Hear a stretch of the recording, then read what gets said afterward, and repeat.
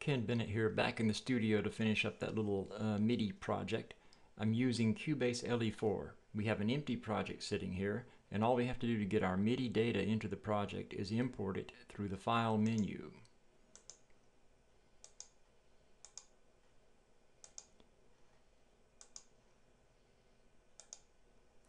And there it is. It comes in with a default VST instrument that frankly is not very good. It's just a simple player for the Microsoft GS Wavetable.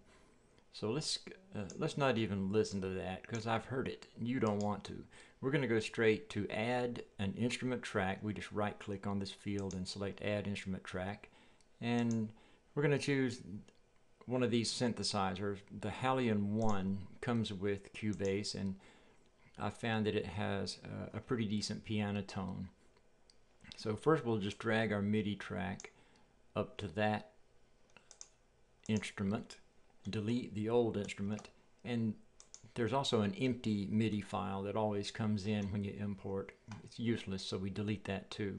Before we can play it, we have to choose a um, uh, program, bank, information, all that stuff. It's a piano that we're looking for here, and I like this, these two pianos here. They're both acoustic pianos, the jazz and the rock piano. There's really not a lot of difference in between the two.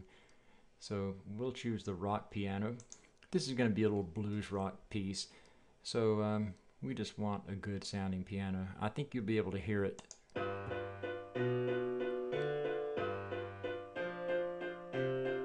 Not bad.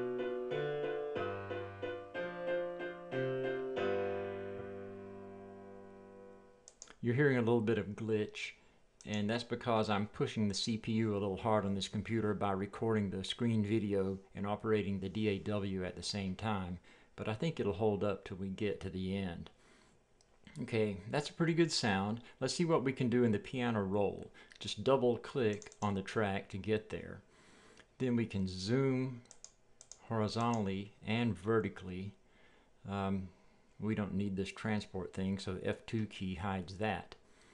Now remember when I made the um, the notation file, I had certain notes accented, and you can see here, indeed they do have a higher velocity than the other notes.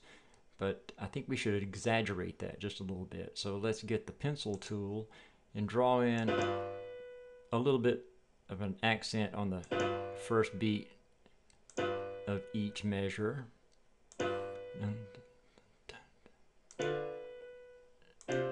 a couple of others and we can even lower some of these in here uh, just to give it a more uh, random feel.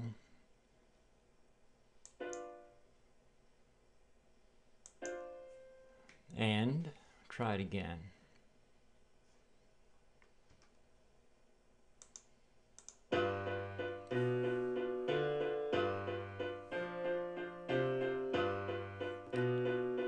and you can clearly hear those accents. Uh, it's a little bit more expressive now. So normally these things are already quantized pretty well uh, when you when you bring them in this way. Although some are radically off. If we zoom in, say on the let's let's um, turn on the snap, so we so it locks to a beat. There's the third measure, first uh, beat We'll zoom in. You can see they're a little behind the beat um, at that point. Um, over here a little more. It's a little bit odd. So I don't think it'll hurt to tighten it up just a little bit. I'll show you how we, we can do that. Um, I'm going to select just the right hand chords and under MIDI we have several quantizing options. Let's look at quantize setup. Uh, we can um, for iter iterative quantize, it's set to 60%. Um, we were told to use a little bit lower number and try repeated iterations. So we'll crank that down to, I don't know, maybe 40 and um, apply quantize. You saw those shift a little bit and whether it made much difference or not, let's just play it again.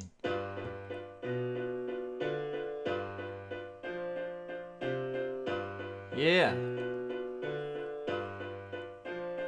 Great feel. Sounds pretty good.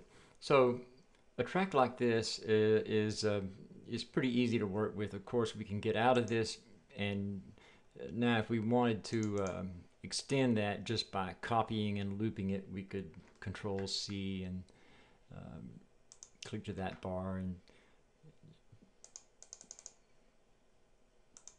just add in a few more. Let's see how it sounds crossing over that measure.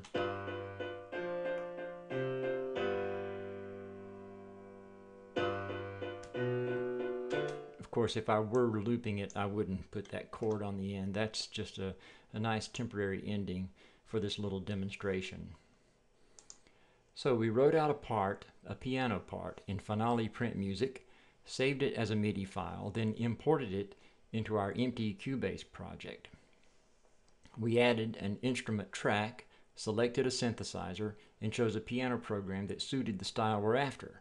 Finally, a little bit of editing and quantizing and the piano roll view polished it up, and now it's ready for adding more tracks. That's one way to generate MIDI data without a controller.